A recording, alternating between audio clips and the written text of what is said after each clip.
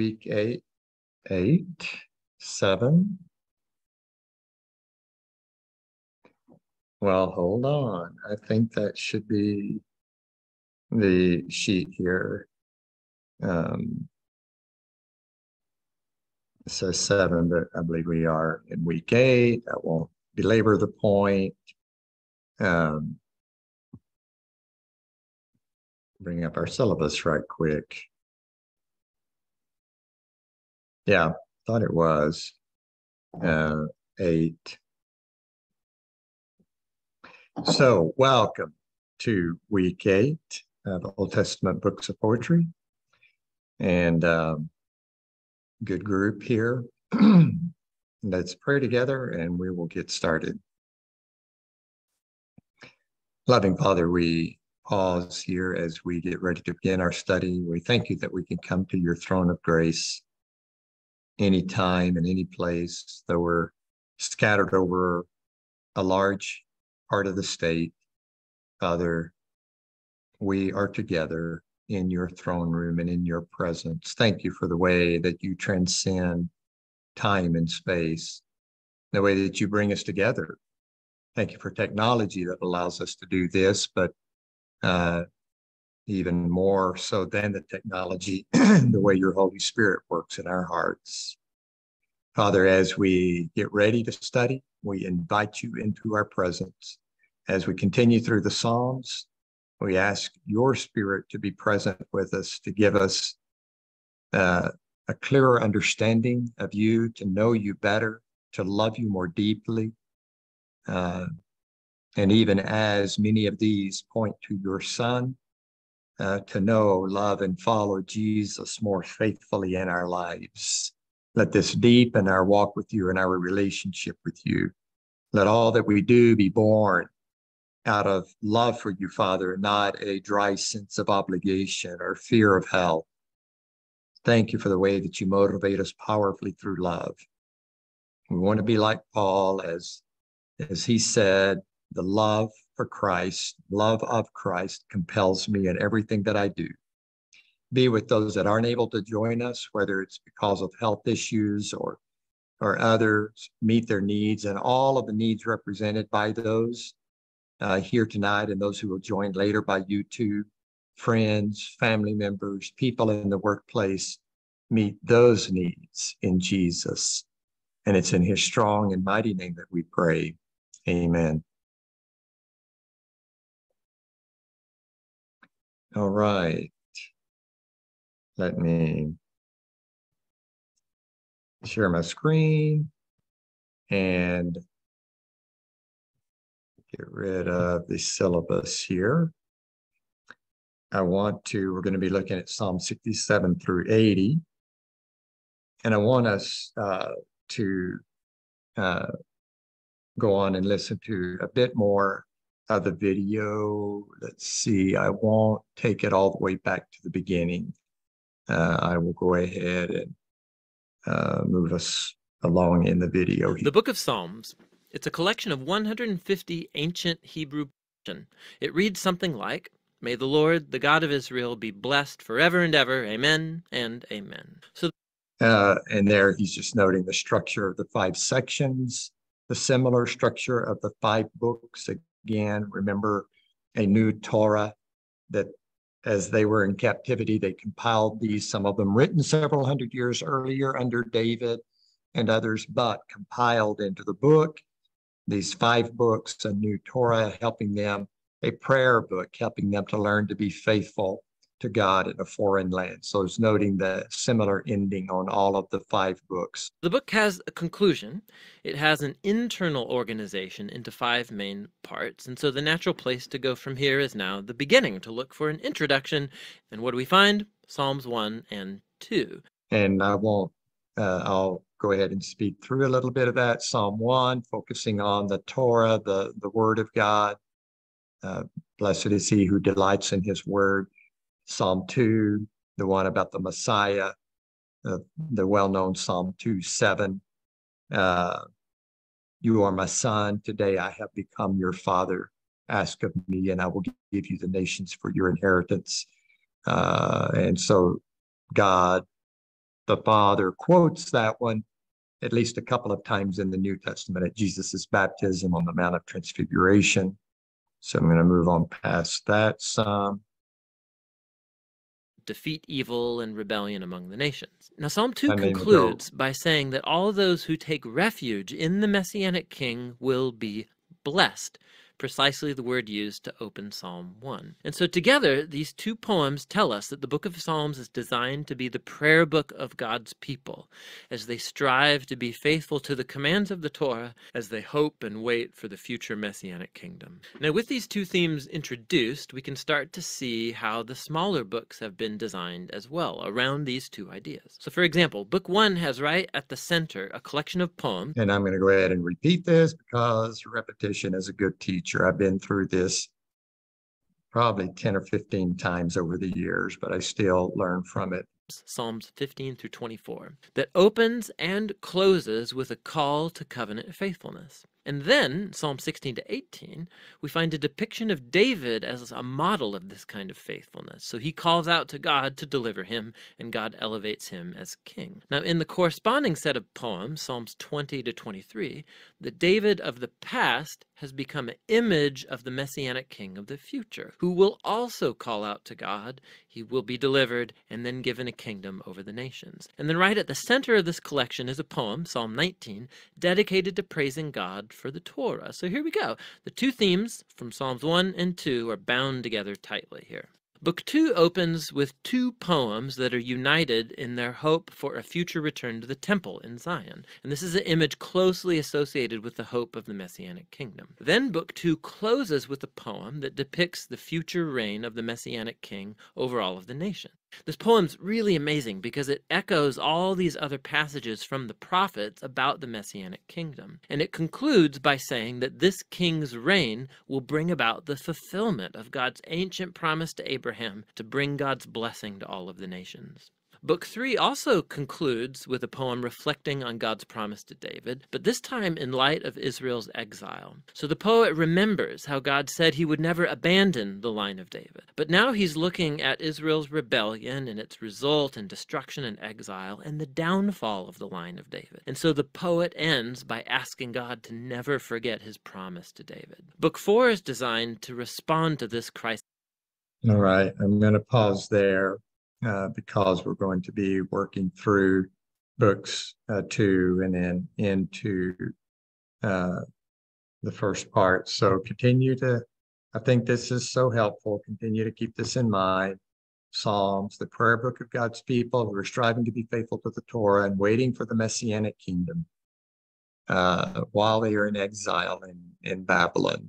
So, and we uh, were part of the way uh, in book two. We'll be starting in 68 um, or 67. Hope for a future return to the temple. Uh, so for their, in their minds, literal temple back in Jerusalem. And of course, that temple was built by Herod uh, beginning in about 40 BC, roughly 40 years before uh, Jesus's ministry. Uh, say Jesus began his ministry about 30. Temple had been under construction for about 40 years. So if I have the dates right, um, Herod, Herod the Great started it about 10 years before Jesus was born. And but that is not the future temple of the indwelling place of the Holy Spirit uh, that Jesus begins to point people to. He said, when the disciples said, Look at how magnificent this temple is, Jesus said, I tell you, time's coming when not one stone will be left on the other. So this desire, uh, 500 years earlier, for a temple in Jerusalem, they thought they had it. They had it for some 60, so 70 years under construction, part of that time. Uh, but then uh, it was destroyed by the Romans in 70 to 72 AD. Uh, and then it closes with the future reign of the Messianic king. Um, so let's go again. We'll go 67 through 80. So open up your Bibles, Psalm 67. And as always, uh, I want you to participate. I want you to uh, speak up. Uh, you know, at any point that you have questions, thoughts, input. So please don't don't hesitate. Uh, Psalm 67, I, I love it. It's good. It shows us the heart of God for all peoples, all nations. It's a, it's, you know, a missional psalm in that way. We were, of course, our 15 years in Africa, working there, uh, and then the years since then. So involvement, uh, well, roughly about 42 years of my life. I took out a semester of college in 1979, went to live with my aunt and uncle in Africa in Malawi. And then uh, four or five years later, went back to Kenya. So for about 42 years of my life, uh, God has sensitized me to the needs of all tribes, language, peoples, and nations to know about Jesus. And uh, so I love 67. Um, just look at actually get any one of you to unmute, please, and read Psalm 67 for us. We get to hear a different voice and will help save my voice.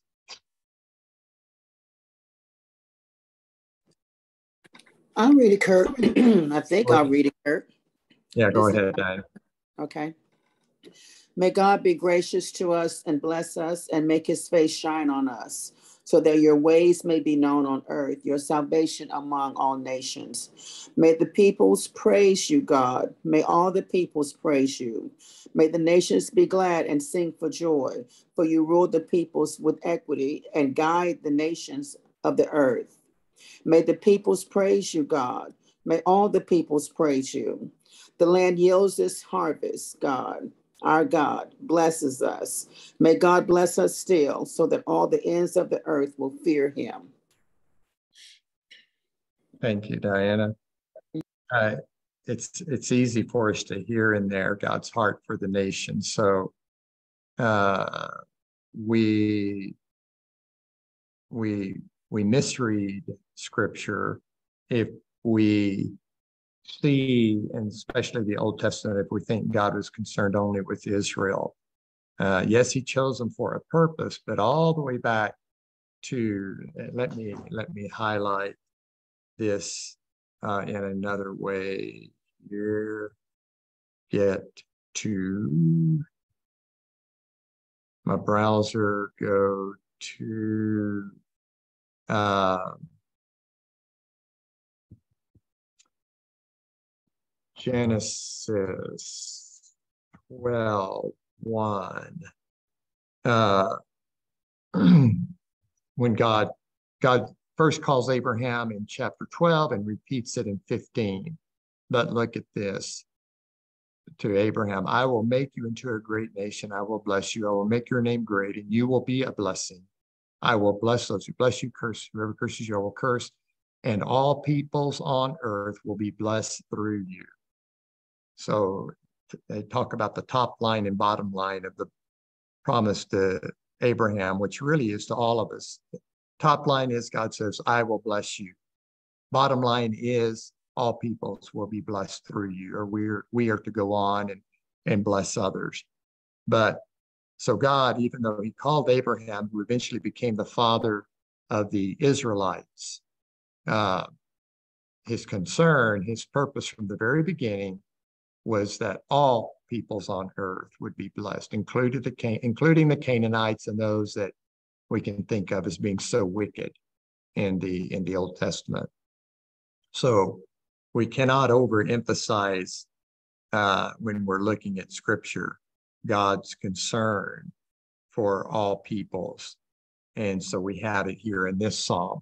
And then when you get into the New Testament, uh, Jesus in a bunch of his parables he he echoes or he really he doesn't echo he strengthens that uh, that call to uh, the kingdom will benefit all peoples. When he uses terms like the birds of the air will come and nest in this this great shrub that grew from a tiny seed that's a euphemistic way of a cryptic way of referring to the gentiles the nations the birds of the air. It's used that way throughout scripture uh, so it's saying the birds of the air, these nations of the world will come to this great uh, tree, this great kingdom uh, that will be established from tiny beginnings, from small beginnings, and so small that Jesus was crucified and put in a tomb, but as he resurrected, God grew it from there.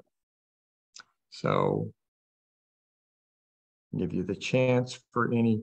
I, I did fail before we moved beyond 67. Look back at the end of 66. I think I, I at least mentioned it last week, but draw your attention to it if I didn't. Verse 18, Psalm 66, 18.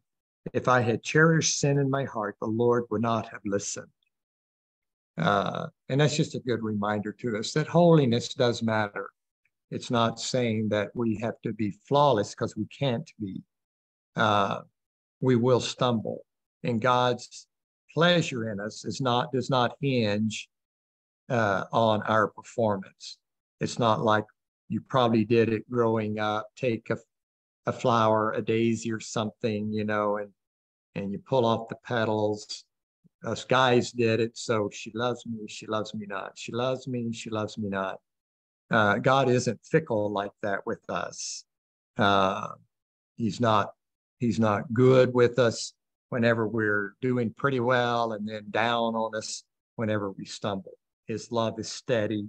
His gaze never changes. He he has a piercing, loving gaze which he looks at us, but that never changes. But if if we cherish sin, we hold on to it, we don't, we don't seek to let the Spirit work that out of us, uh, it will affect, it will affect uh, the way the Lord is able to hear us and to respond to our prayers. So I appreciate that one. That's always a good reminder to me.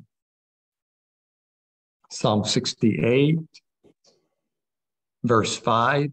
Diana, Oh, Kirk, I just wanted to um, make note on verse number uh, seven. May God bless us still so that all the ends of the earth will fear him. That's like um, a prayer for the future, for everybody in the universe. You know, you fear God, then you love him. And it's like they're just trying to make a reference, not just for their time period, but for the future that's to come.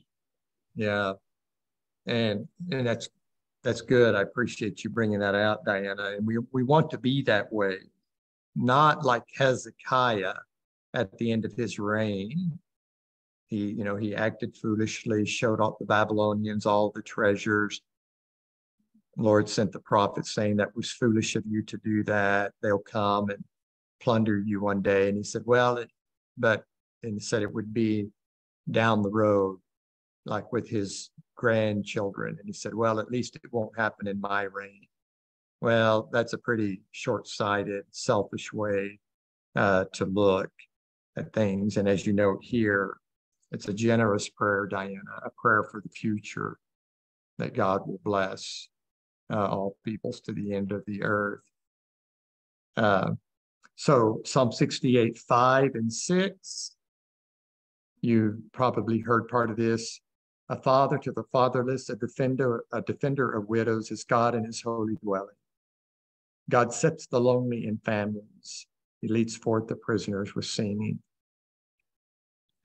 Now, okay, we we we need to we'll we'll get this when we get into the proverbs and we i think we've made a statement like this early on uh, in our study that scripture, proverbs, poetry, uh, it states things like this God sets the lonely in families. But we know of people who say would long to be to have a family and may not. You, so you can say, yes, it's true, except when it's not. And that'll happen in the Proverbs. We'll see that. That doesn't mean that God's word isn't constant or true uh, it will, it, we need to, and we don't need to, you know, like quote this blithely to someone who is aching from loneliness. Uh, we need to be careful with that. The reality is, some people, you know, are very lonely. They don't have a family they wish they had now. If they come into Christ, though, that's like a physical family. But for those who come into Christ, uh, our our family immediately and exponentially can increase because we have a a family in Christ, and uh, and so in that sense, yes, it's always true. If someone honors God, loves God, belongs to God, though that person may be lacking a blood kin family, they are part of a, a spiritual family in Christ, uh, oftentimes where ties run deeper than the blood kin does. But it's good to pray that too for people to set the lonely in families.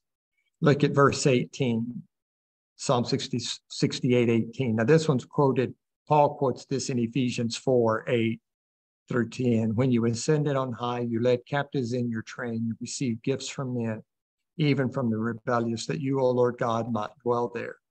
Now, Paul, you know, when this was written, they were not thinking of the, you know, of this applying only to the Messiah.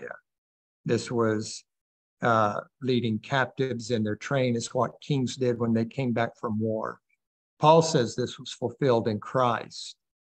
But just so that's the multiple fulfillments of Scripture. It's like multiple tiers and an, a, a near fulfillment, but then there was a, a, a greater fulfillment down down the road in history. Verse 19 Praise be to the Lord our God and save, our Savior, who daily bears our burdens. Our God is a God who saves, who daily bears our burdens. What about the Lord's Prayer? Father, give us today what we need today. Give us our daily bread, not our monthly bread, not our annual bread. Give us what we need for today, the grace that we need for today. And Susan and I have, for several years now, pray that pretty almost every day. There's some days that we miss praying it together. I try to, even if I breathe it as a prayer, oftentimes I pray it on my knees, but uh, I try to have this awareness daily. Father, just give us what we need for today the grace, the strength, the patience, uh, as Jesus said, I, I won't worry about tomorrow. So I think that's so helpful there. He daily bears our burdens. Uh, look at the closing verses of 68, 34, 35. Proclaim the power of God. 35. You are awesome, O God, in your sanctuary. The God of Israel gives power and strength. But that statement, proclaim the power of God, speak of God's goodness. So you and let's don't let's don't fail to take that away, to go to school on these psalmists, on these writers. He says, and this one in particular of David, uh, proclaim God's power and, and his goodness. Speak of it. You and I need to do that. This easily speak of God's goodness. Go to 69, please, again. Uh, hands up or unmute if you want to share something. 69,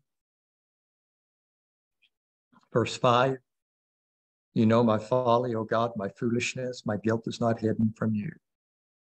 But then to six, may those who hope in you not be disgraced because of me. Uh, that's one that I was looking for in our previous class. Uh, may those who hope in you not be disgraced because of me. Don't let my sin or my disobedience bring shame to others. Uh, verse 9 is uh, it, it's all kind of messianic there. Verse 7 I endure scorn for your name. 8 I'm a stranger to my brothers an alien to my mother's own son, my own mother's sons. That happened some with Jesus when they didn't believe in him. Verse 9 For zeal for your house consumes me, and the insults of those who insult you follow me. So we, that's quoted in John 2 17. And then Paul again in Romans 15. Zeal for your house consumes me. Uh, John 2 17, when Jesus cleansed the temple. Um, go down to the uh, 20, 69, Psalm 69, verse 20. Scorn has broken my heart. Uh, 21, they put gall in my food and gave me vinegar for my thirst. Uh, those, of course, on the cross. So there was a near fulfillment for David, uh, feeling, you know, betrayed by his friends. Uh, so this is what it felt like to him. Gall, a very bitter herb, um, but of course, literally happened uh, with Jesus. Uh, scorn has broken my heart back in 20, the scorn of the religious leaders, not just angering Jesus, but breaking his heart. 29, I'm in pain and distress. So, uh, an application, a near application or fulfillment with David, but a, an ultimate one further down the road with Jesus. But I think it still ministers to us. If you've been betrayed by or wounded by a loved one, a close friend, uh, then reflecting on what Jesus went through, reading about David's betrayal by those close to him, it can be helpful to, to put words to some of our emotions. Goes on through 70 to 71. Uh, verse 8, 71, verse 8. My mouth is filled with your praise, declaring your splendor all day long. All right, let's do that, folks. Let's let's let God's praise fill our mouths to speak of his his splendor, his goodness all day long. Nine, don't cast me away when I'm old. Don't forsake me when my strength is gone. But even even if there are some hard times in old age, look at verse 14, 71 14. But as for me, I will always have hope. I will praise you more and more. My mouth will tell of your righteousness, of your salvation all day long. Though I know not its measure, though I don't, the psalmist here, that we don't have a uh, one recorded as the author of this 71, but this psalm is saying, uh, even though I don't fully grasp uh, the height, width, depth, like Paul refers to there in Ephesians 3, like of God's love, I will always speak of you. My mouth will tell of your righteousness. So, yes, Diana. I, I like this one, Kirk. It's like a prayer um, uh, from an older person. And verse number five, it says, For you have been my hope, sovereign Lord, my confidence since my youth. You know, he goes all the way back to when he was uh, in his mother's womb, you know, praising God and thanking him for, you know, where he is and, and what's going on in his life. And verse 17, since my youth, God, you have taught me. And to this day, I declare your marvelous deeds. And, you know, when we go through things in life and, and we really um, tune in to to our spirit you know and and you talk to god and and you want to just praise him just thank him for everything you will have a tendency to go back you know to when you were small and when you were maybe maybe not to the mother's womb but i thought that was amazing how you know he's just had so much compassion you know to try to just just just tell god what is what it's all about for him. Yeah. you know this is yeah it's wonderful no, thank you, Diana. I love, you know, having y'all share and give insights. Yeah, so because I hadn't observed that about being kind of a reflection of someone, of someone older back to their youth, and uh, it is similar. Let me pull up uh, the scripture here. Uh, Jeremiah 6 16. not just when we're old, but even when we're young. This is what the Lord says stand at the crossroads and look, ask for the ancient paths, ask where the good way is, and walk in it, and you will find rest for your souls. Now, bad thing about the sad thing about Israel is they basically said, no, we're not going to do it. We're going to we're going to find our own way. We're going to do it our way, like the old song from the 70s. Was it Helen Reddy? I'll do it. Well, no, that was, uh, no, not hers. Uh, that was probably more like uh, one of the crooners. Uh, I'll do it my way. Uh, but he's telling us if we will, like this psalmist is doing, and like you said, uh, uh, Diana. Uh, look back and, and, and in the company of good people, of saintly people, uh, reflect on God's good ways and what He has for us. Uh, you know, uh, there are ancient truths that are still relevant. We need to we need to help modernize them. We need to make them applicable to people that don't maybe have a church background. So we need to be careful about just uh, maybe some of our religious language, but find ways to help people to see uh, today that while uh, God gives us some really good guidance for our lives. Uh, look on down there in 71, verse 18. Even when I'm old and gray, do not forsake me, O God, till I declare your power to the next generation. So, again, back to the thought you kind of shared earlier, Diana, at the end of the previous psalm about, uh, or at the end of 67, telling others that others may know. Uh, so, for those of us that are grandparents, um, three of ours just landed back in the US from Africa on uh, Saturday. They were uh, over in the Memorial Church of Christ area, um, and then left to go to Fort Worth today.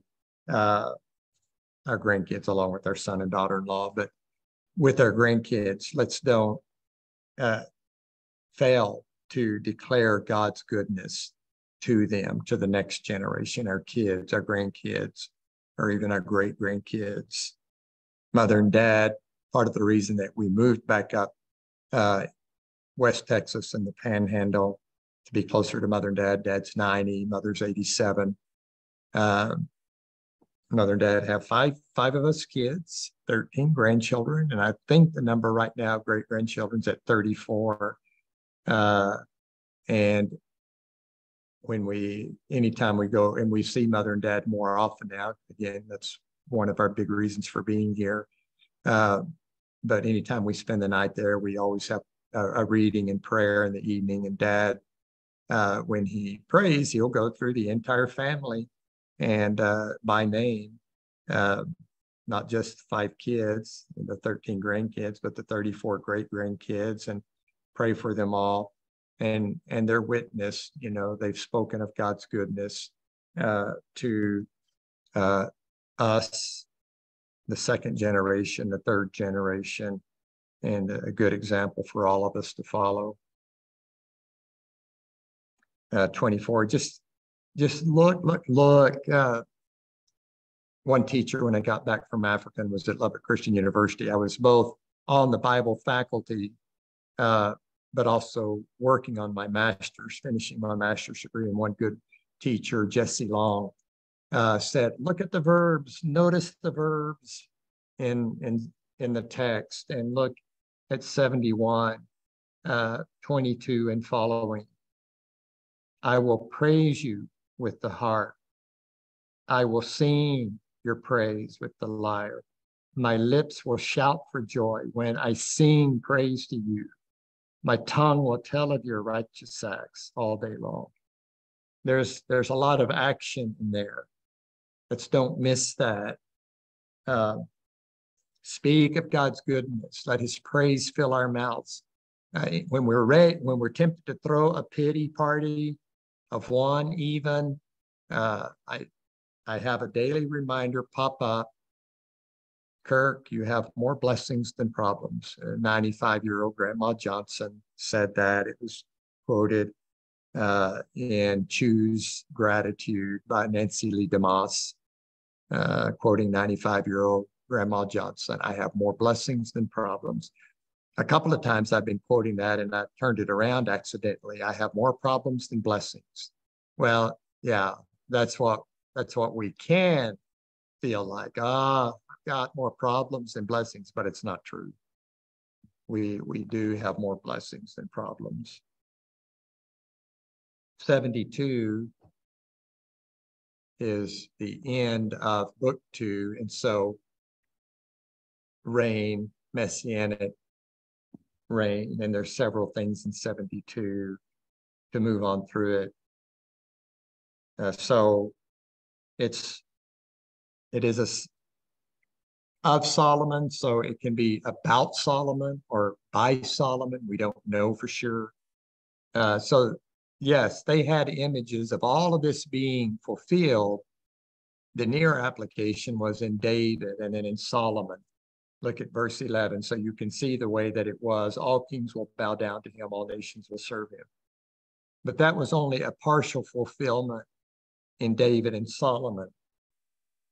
The ultimate fulfillment was in, is in Jesus. Not that they bow down to him in a military sense, conquered by the sword, but throughout the ages, uh, rulers have bowed the knee to Jesus, some willingly, some uh, unwillingly.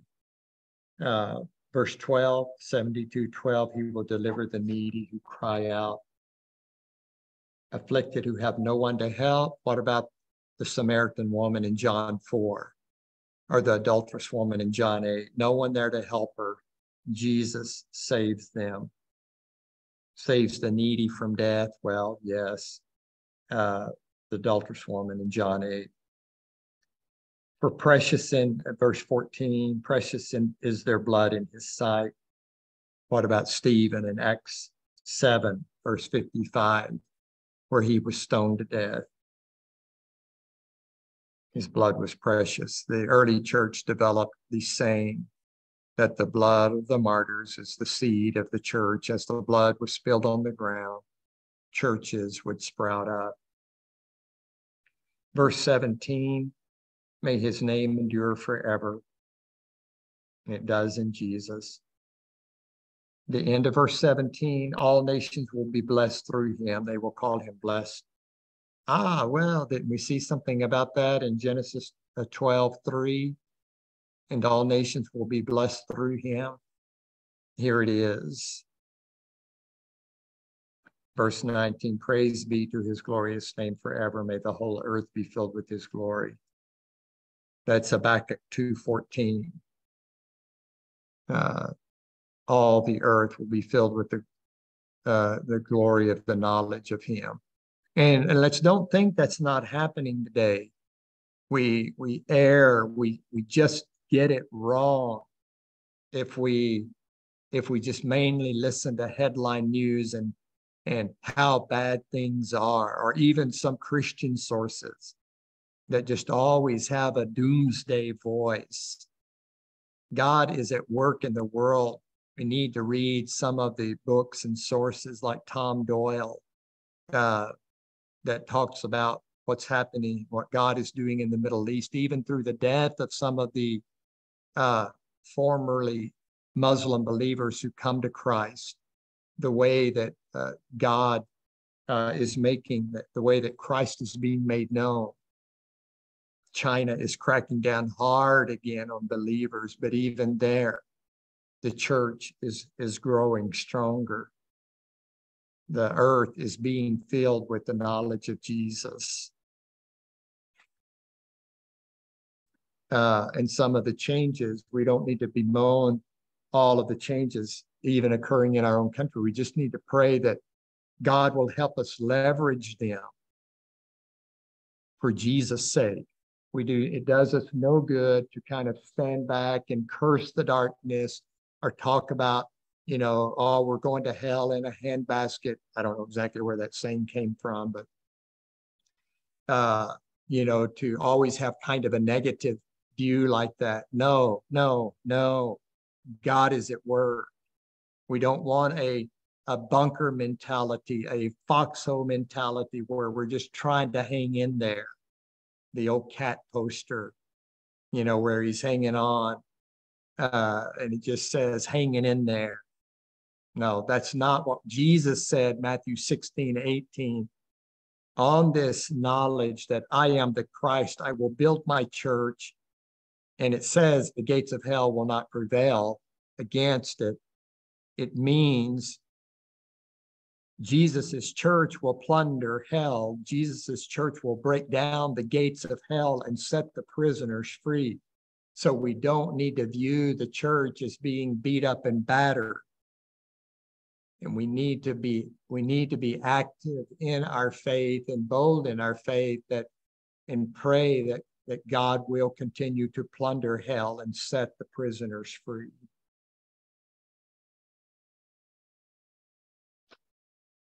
That's a little bit of preaching there, but I think it's important when we think about what God is doing through Christ. When we get into book three, Psalm 73, this is very similar to Jeremiah 12. And it's it says a psalm of Asaph. So I related to this a lot 20 years ago. I memorized a lot of it because that's really kind of where I was. I, I was a little more upset at God. God, it seems like basically kind of what he's saying here. It seems to me like you make it easy on the wicked and hard on the righteous. Because he, he says things like verse 2 As for me, my feet had almost slipped. I nearly lost my foothold. Maybe a way of saying I almost lost my faith. I envied the arrogant when I saw the prosperity of the wicked. They have no struggles. Their bodies are healthy and strong. They're free from the burdens common to man. Now, all of this is not strictly true, of course, but you know, in his perspective, it's like they're not plagued by human ills. Verse six, pride is their necklace. Seven, from their hard hearts comes evil. Eight, they scoff, speak with malice. Nine, they're boastful, they claim to heaven.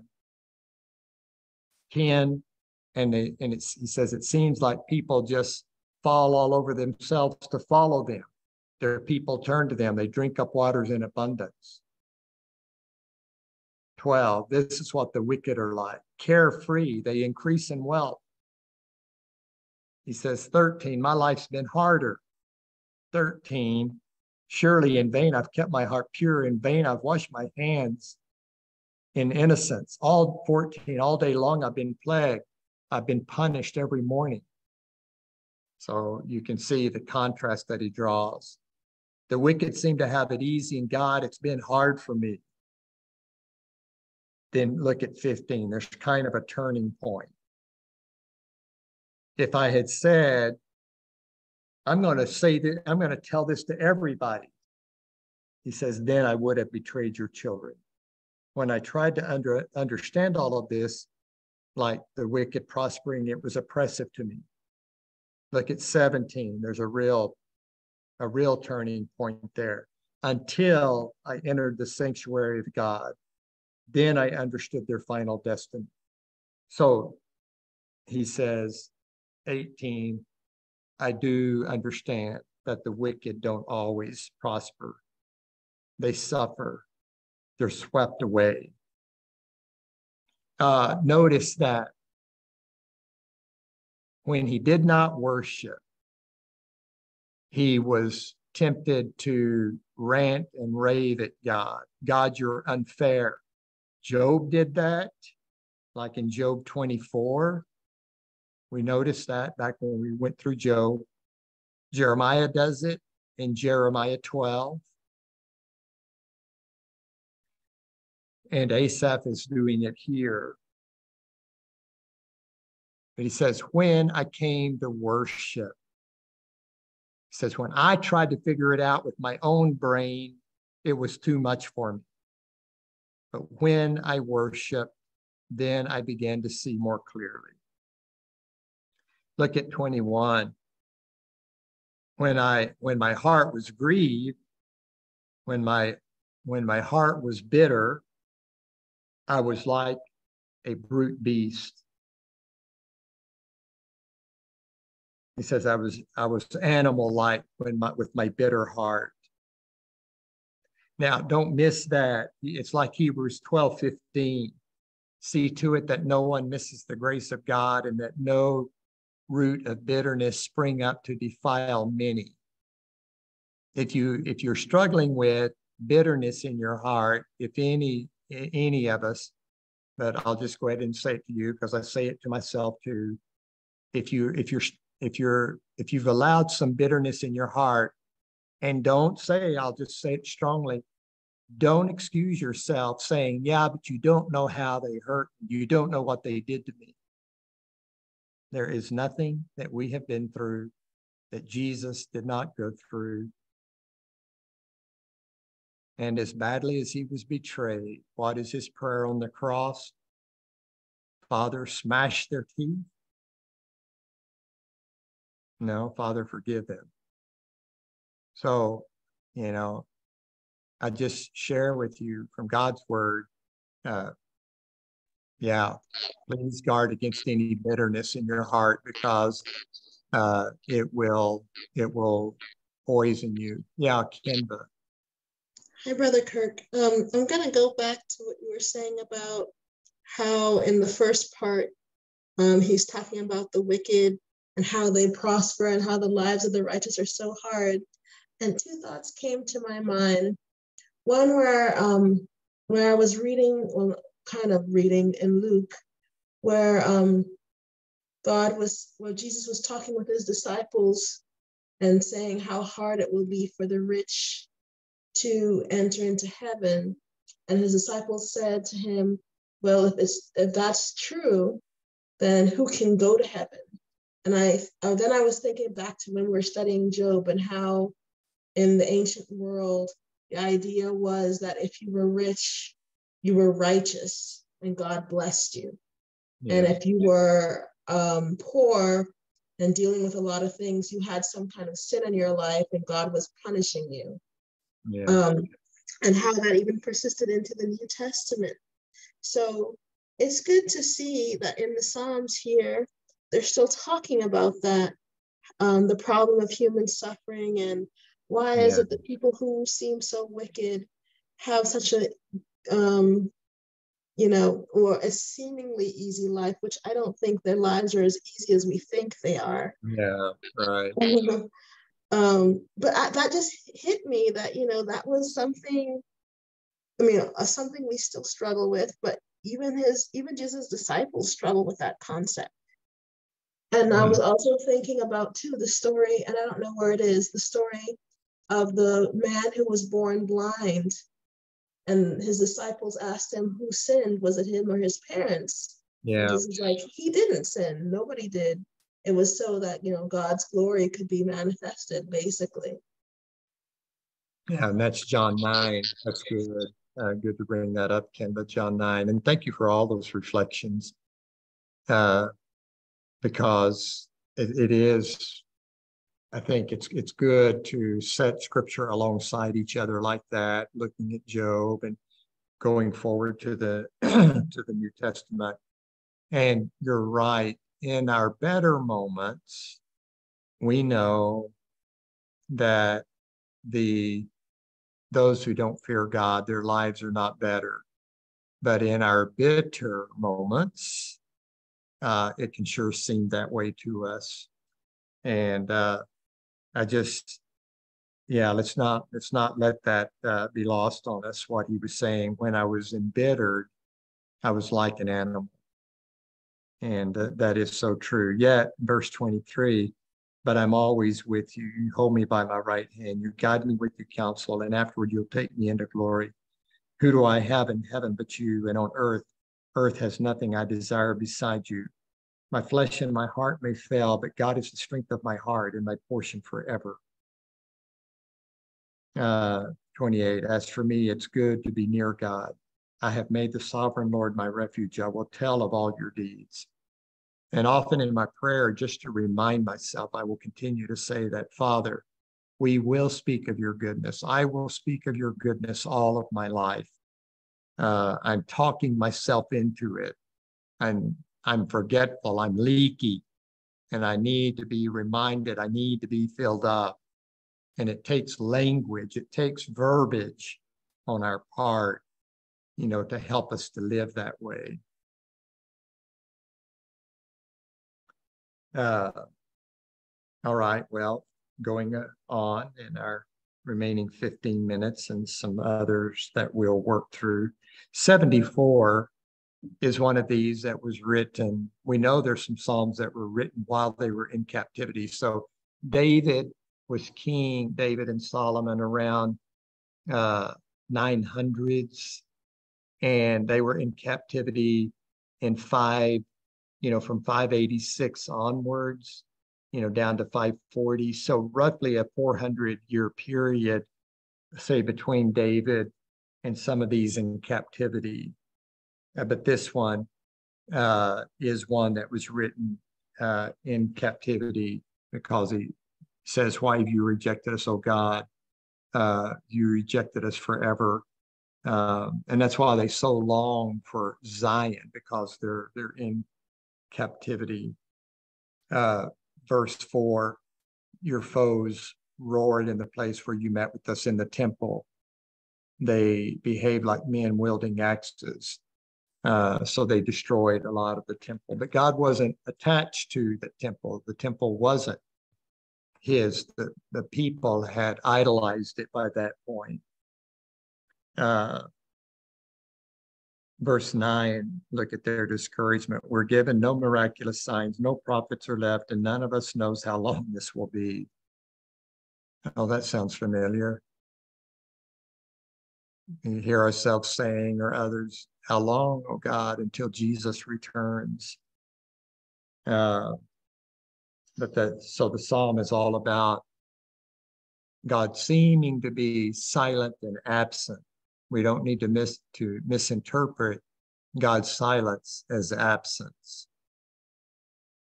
In the roughly four to 500 years between the close of the 400 years, 450, between end of Malachi and the beginning of Matthew, between the end of the Old Testament and the beginning of the New Testament, though God may have been silent, he was not absent. He was at work through the nations preparing for the birth of his son. He worked through the Greeks Alexander the Great, uh, to spread a common language around the known world. He worked through the Romans, then to make roads around the known world. So that by the time Jesus came, and Jesus largely operated just in Judea and Galilee, but then Paul and the other apostles used the language that the Greeks had given. They used the roads that the Romans had built and traveled throughout the known world proclaiming Jesus. Diana. Yeah, Kirk, I have a question on um, verse number 11. Why do you hold back your hand, your right hand? Why is it that he stated your right hand? What's so significant about that? in the good question in the Old Testament, right hand, uh, you know, like uh, Stephen before they killed him, he said he he saw Jesus at God's right hand.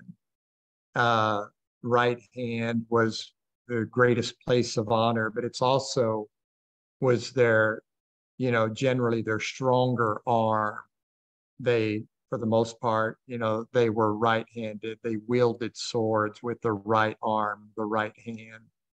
Uh, and so that's that was except for some of the Benjaminites, you know, that were left handed. Uh, predominantly, they were right handed. He said, So why hold back your right hand? Uh, he's wanting, he's calling on God to strike their enemies. Well, Jesus has a different message not strike them, but forgive them. Uh, but that's that's why the significance of the right hand, Diana, throughout it's it's it's is more powerful. From there, it's you know anthropomorphism. It's attributing to God our our our traits and attributes. Uh, but for them as humans, their right hand was their more powerful one. Okay, that sounds good. Uh, they ask him to remember his covenant, verse 20 in Psalm 74, have regard for your covenant. 75, uh, Psalm of Asaph, we give thanks to you, O God, we give thanks for your name is near. Men tell of your wonderful deeds. Um, so just that language of always uh, giving praise and honor to God. Look at 76 uh, here, a Psalm of Asaph. Look at verse, I'm sorry, clear my throat. Verse 4 You are resplendent with light, more majestic than mountains rich with game. well, that's interesting, right? Resplendent with light. And we, we read that also back in 36 9. And so you go to like Matthew 17 and the transfiguration. And of course, he doesn't, Matthew doesn't use the language uh, that the others do. 17.5, while he was still speaking, a bright cloud enveloped them, a voice from the cloud. This is my son whom I love. So this is my son. That's Psalm 2 7, whom I love. Uh, Genesis 22, listen to him. Uh, Isaiah 40, uh, 42.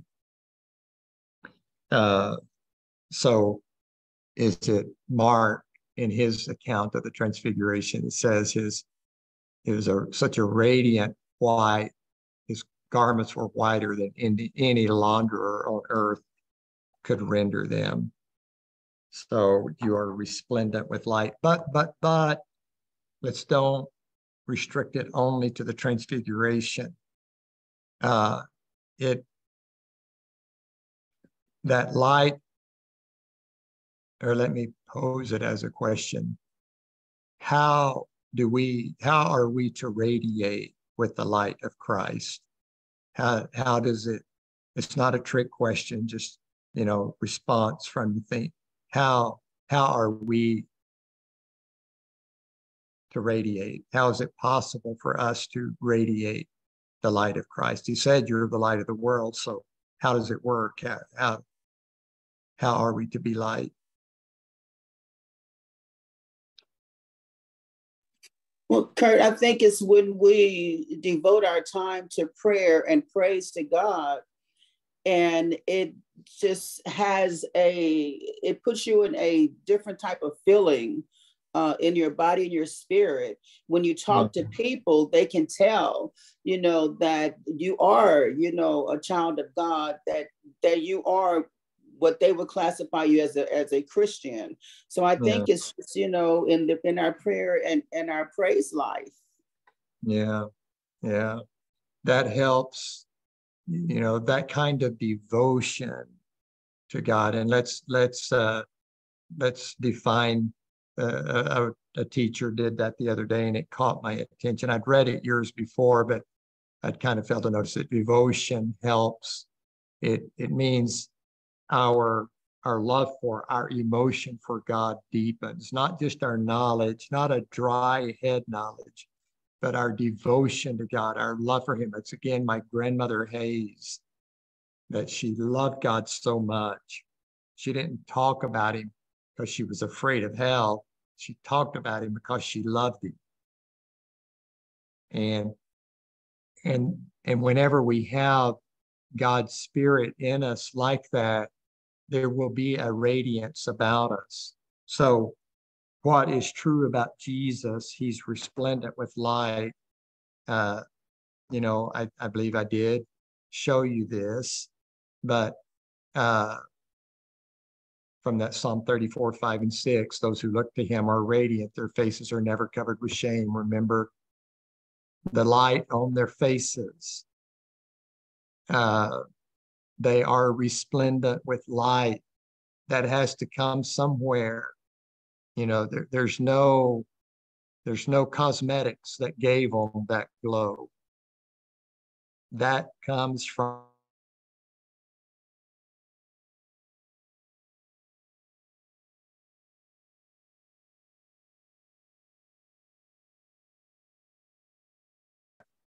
it comes from the Holy Spirit. And Diana, as you're saying, when we nurture the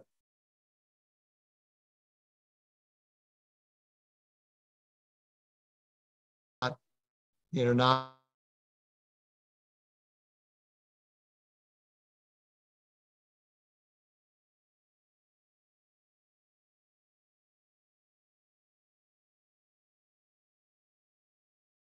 You're chopping up, Kirk.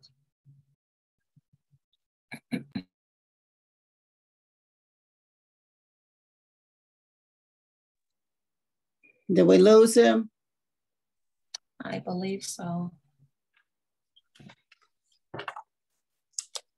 Yeah. Maybe he'll come back in. Yeah. I know. Maybe he maybe he's finished.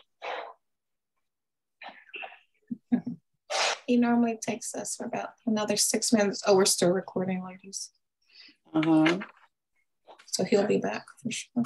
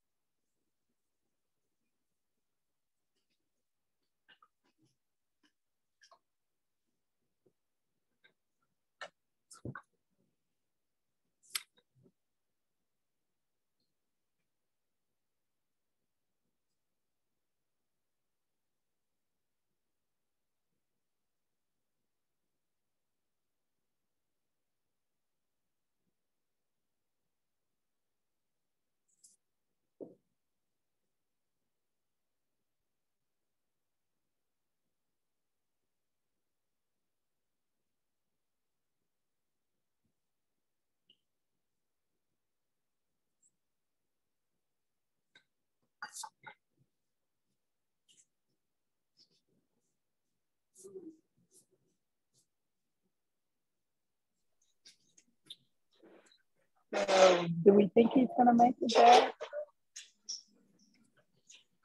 I don't know. Maybe he can't get back in.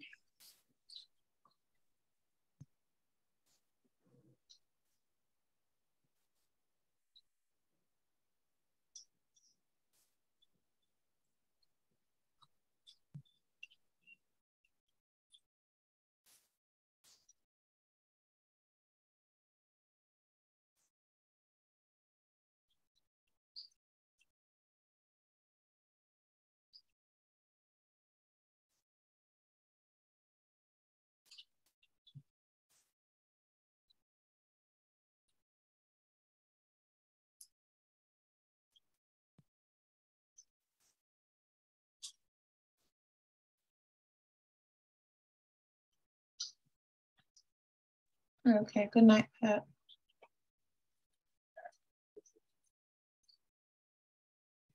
Okay, guess we'll say good night, ladies. Probably so. He'll catch us up next week. yes. Okay. Have a good week, everyone. All right. Good night. Thanks. Same to you. Bye, yes. everybody. Bye-bye. Bye-bye.